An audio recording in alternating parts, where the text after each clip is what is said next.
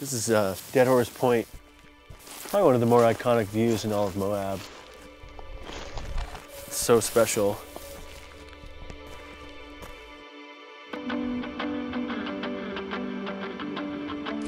Oh, dude. Yes. It's my favorite sunrise spot where you can drive in, shoot for a, maybe an hour or two, just in time for the family to be awake and make some breakfast. Sun is starting. Now you see the depth.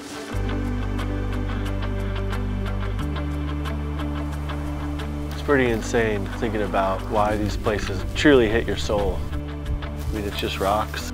Trigger something in everyone and it's impossible to explain. Sweet.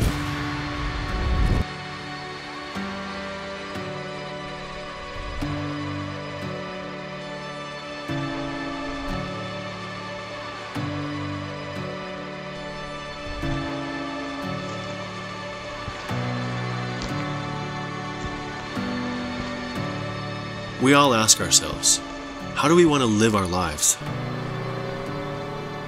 Are we on the right path? We only get one go around, and am I making the most of it? My wife and our two girls were location independent, and we live full time in our RV.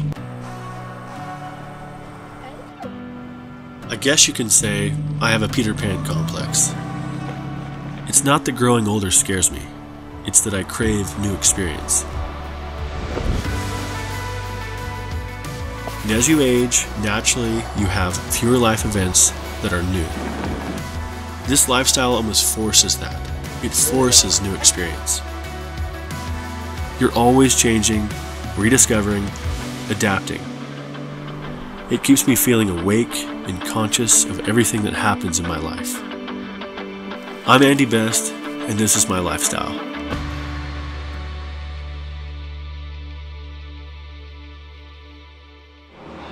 Today I am gonna make Indy pancakes. She kind of had a hard night. She always loves waking up with pancakes. How big a pancake, Indy? big one. Anna, Elsa. You sure you don't want any grapes? I'm okay, I think. Oh man, whoa. What do you think? No, no, no, no, no. The way I would describe our lifestyle is nomadic. We travel across the US, Canada, Mexico, and sometimes beyond. Almost there. We're almost there. Let me outside. Everyone's getting a little restless in the car. What a big blowout. Oh my goodness. Here's everywhere. Life on the road with the six month old. Blowouts. We go from one location to the next, guided primarily by my photography and film work. And sometimes our heart and sense of adventure. We usually have things mapped out as far as possible. Sometimes that's a few months and sometimes it's just a few days. I'm thinking we reset here and make a solid plan for the next few days. You're coming up through this way. This is County Road 361. Usually, what we'll do is drive to a location where I have a shoot, look for a place to settle, then I'll work for a few days or a few weeks. So it's a lifestyle that brings a certain amount of uncertainty.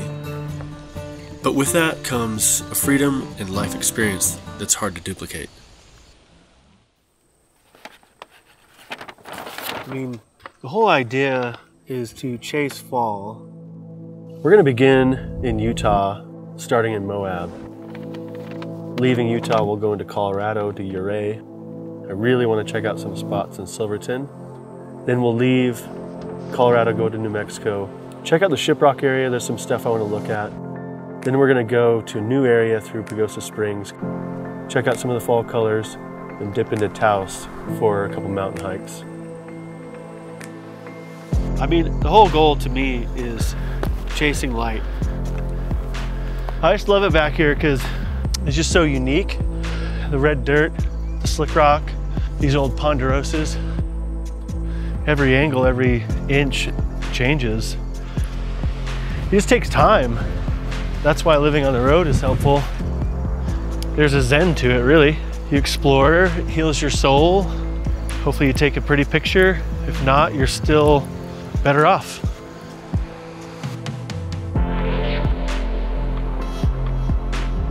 I think I've always leaned towards the creative side of things.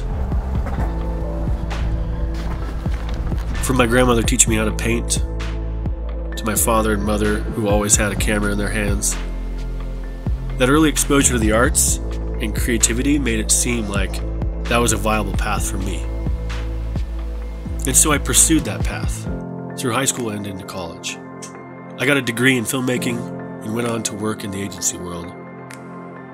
For a time, that was great. I was doing well, but I was also doing some freelance work on the side, and a lot of those jobs took me into the outdoors and into nature.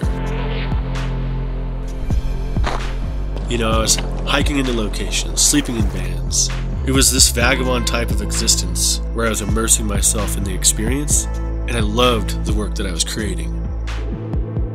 Those jobs, they opened my eyes to what I really wanted to do. And it didn't take long for me to make a change. So I left the commercial world and set off on my own. It's starting. Do I have the right settings? Oh yeah. Get these long shadows. I don't know, there's something about it that's magical. The world it's shaped that it is and you can come and see its beauty and you can get lost in it. And I love that.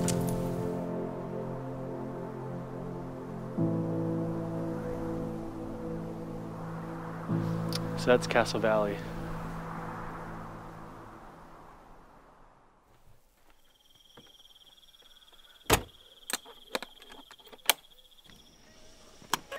Moab was a success. And I think we're on to. Did you have fun in Moab? Ready to go to Colorado? Yeah, yeah, yeah. You are? You ready to go to Colorado? See you, Colorado. Yoo-hoo! Bye, Moab.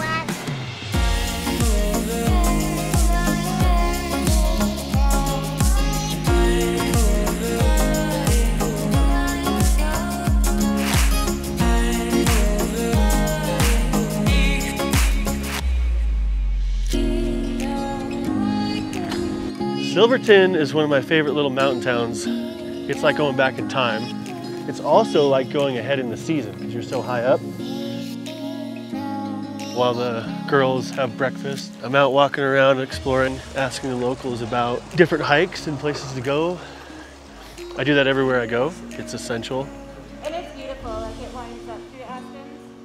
You can look at a map all day long, but if you don't have local input, you've got nothing. And a lot of times you get magic.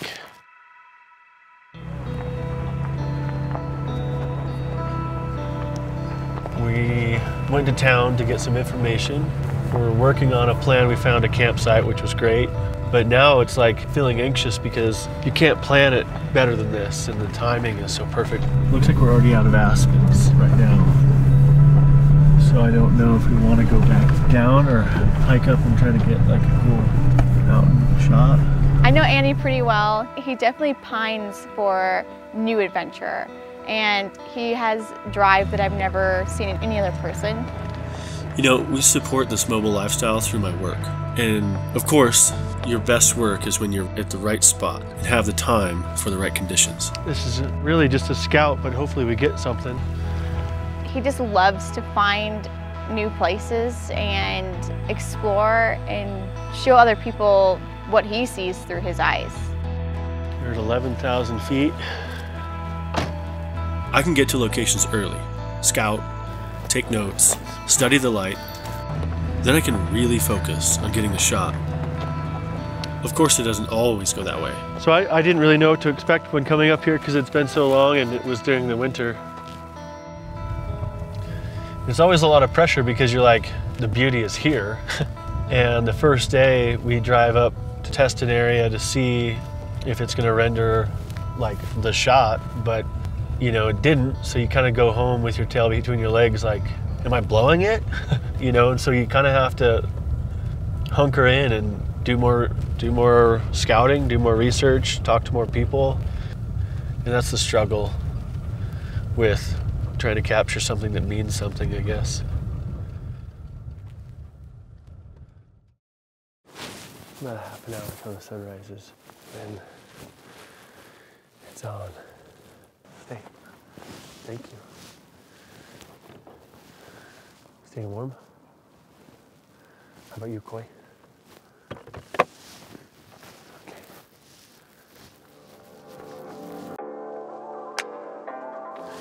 We're just outside of Silverton.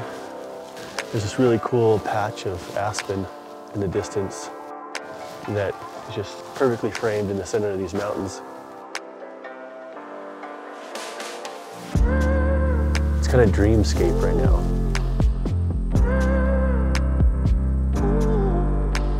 When I left the agency world, I found myself gone for longer periods of time. I would load up the truck and just disappear. My wife Erica and I, we've been together since we were kids, and although I was happier creatively, you can imagine it put some strain on our marriage.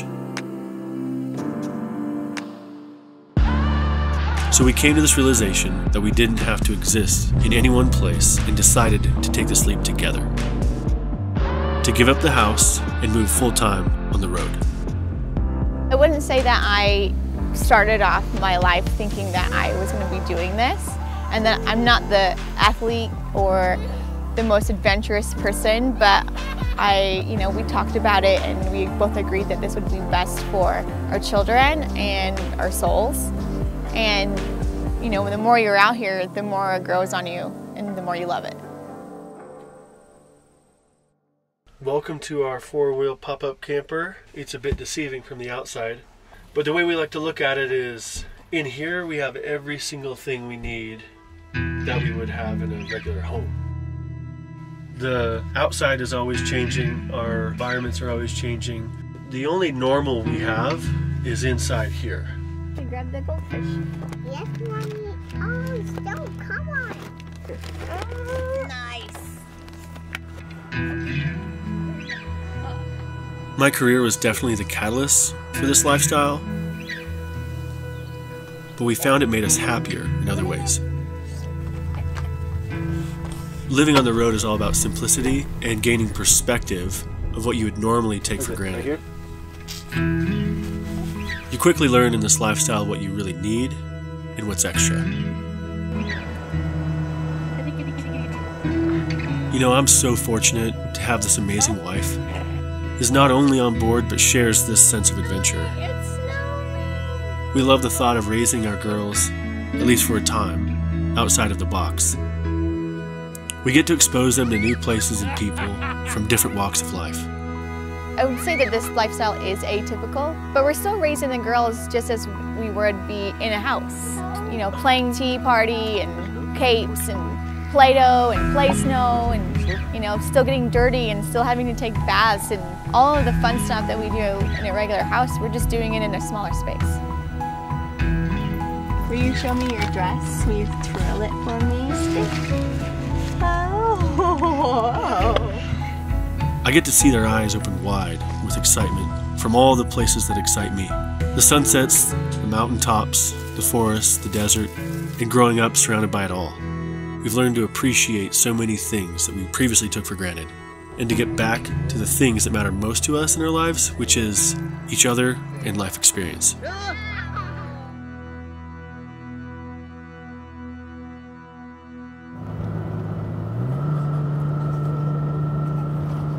Yeah, so we had to leave Colorado early because there was a bunch of smoke that came in. We came down into New Mexico to check out Shiprock. We might, because we're on this side, it might make more sense to do Bisti this evening and then go out to Shiprock to maximize our time.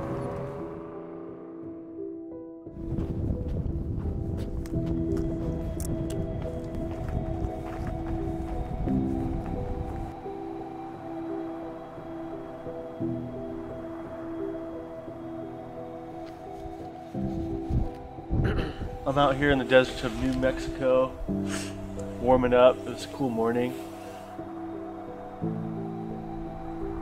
waiting for sunrise. Have a time lapse going over on this other side.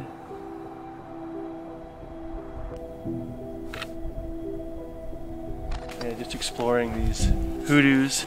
There's petrified wood everywhere, gorgeous towers, little slot canyons back here. So yeah, just kind of waiting for the sun and uh, see what happens. I've always loved the outdoors, but my camera has definitely taken me further into nature, to places I never knew existed. I'm up early, out later, I'm always researching new locations, the weather. I've been to the Badlands here before, but I haven't explored as much as I did this time, and it was absolutely mind blowing. It offered up so many different things with colors, shapes, and it just invigorates my creative mind and it helps me kind of get back in the groove of things so I can stay creative. I've become addicted to these moments. When you're out there in the wild and you just get knocked on your ass with astounding beauty.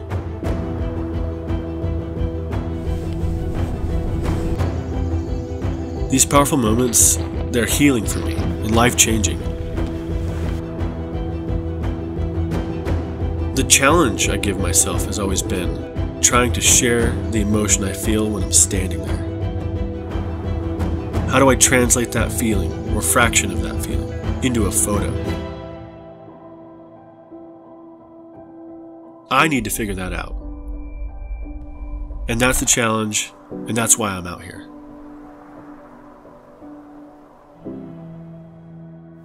Think today we're gonna uh, depart and go over to check out Shiprock. So it'll be a good day.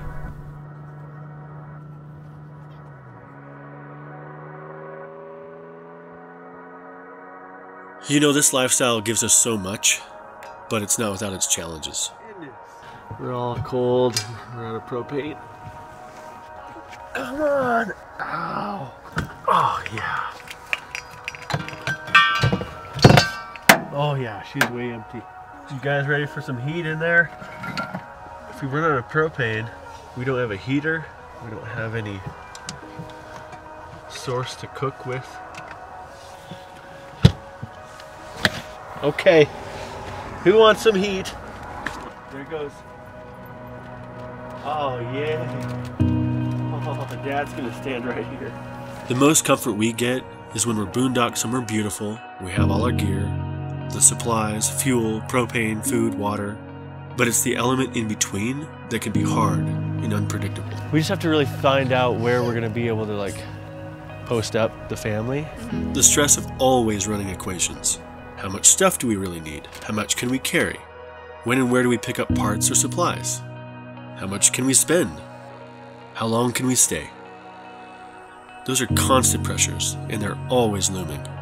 The dog water bowl froze, so it's definitely below 30. When I woke up to start moving the girls into the truck, I pulled the pillows away from the side, and uh, they're frozen to the side of the canvas from our little bit of condensation. Out here, you grow to be comfortable with the uncomfortable to some degree. There's the feeling of isolation from family and friends, so it's easy at times to second guess yourself. You know, am I making the right decision for me and for my family? Hi! Sorry, I'm, I'm already emotional. Go on. The downsides of this lifestyle is, you know, we've had to make a few compromises of, you know, leaving a couple of our dogs with some family. We were really sad to see them go, but really happy that they're in a good spot. So we're gonna go and make a phone call and go do a Chihuahua talk.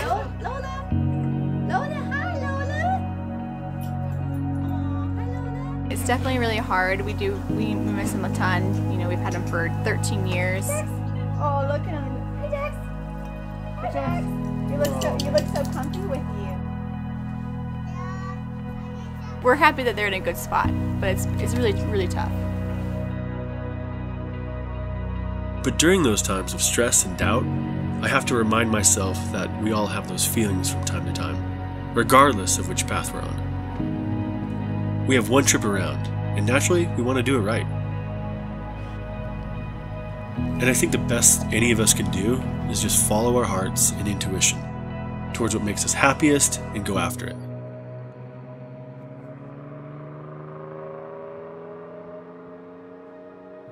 We left Shiprock yesterday and we are taking the long way around to Taos. And so far the route's been really beautiful. There's aspens and cottonwood trees going off. Yeah, we're at 10,400 feet. It's about 73 degrees. Not too bad.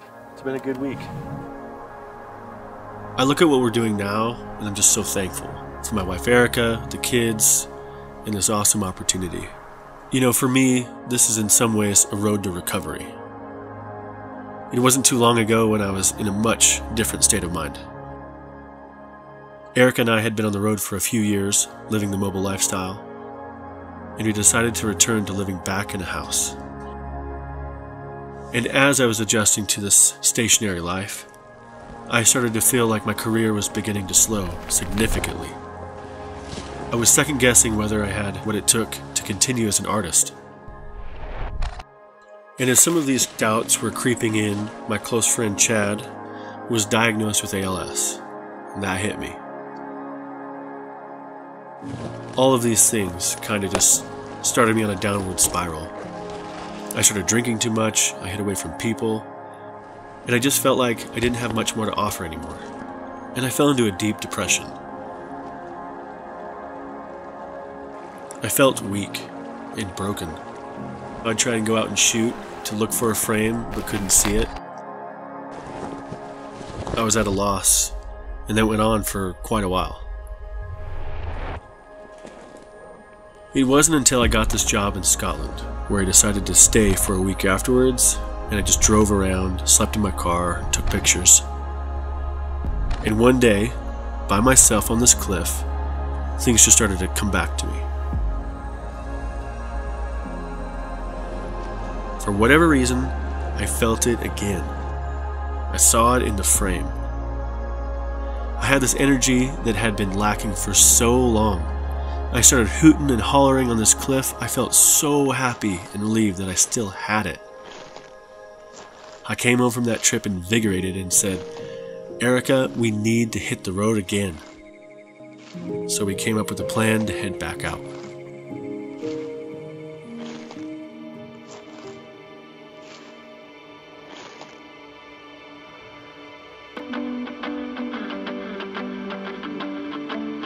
I think one thing that I learned from that experience was that I'm happiest when I'm creating for myself. And that my best work comes when I lose myself a bit. And I'm not thinking about who's viewing the photos or the feedback, and I'm chasing the things that I love and crave. That's when I can give something to each photo, and conversely, when a photo gives something back to me. The more often I can find that space, the happier I am with my work and myself.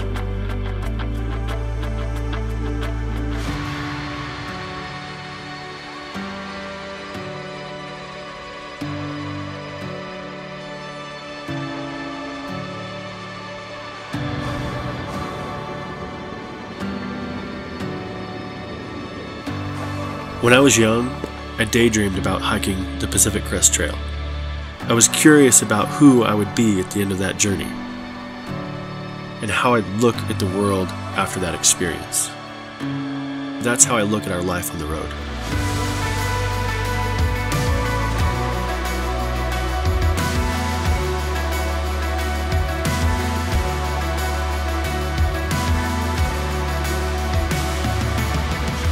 I'm curious about how we'll look at things after these adventures. I'm curious about the people my daughters will become and how they will look at the world. And at the end of it, hopefully we have a better understanding and appreciation of ourselves, the world, and the people around us.